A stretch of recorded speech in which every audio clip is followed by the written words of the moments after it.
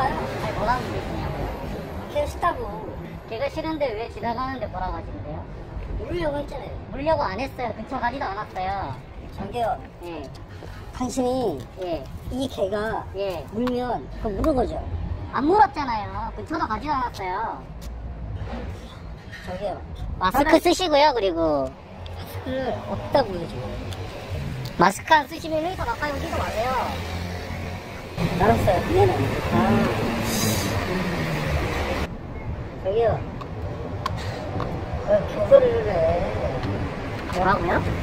아, 그, 대신에 그렇게 얘기하면 안 되지. 뭘 제가 그렇게 얘기하면 안 돼요? 그게 소리라고요? 아, 개소리, 개소리지. 안 그래? 아, 당신 나한테 뭐라 그러는데. 뭘 했는데요?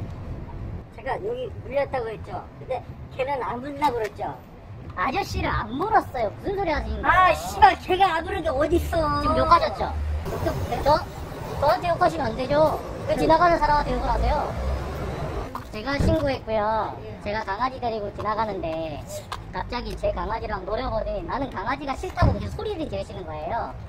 그러더니 갑자기 저한테는 거짓말로 강아지한테 물렸다고 하셔가지고 욕하고 지금 아니, 물렸어요?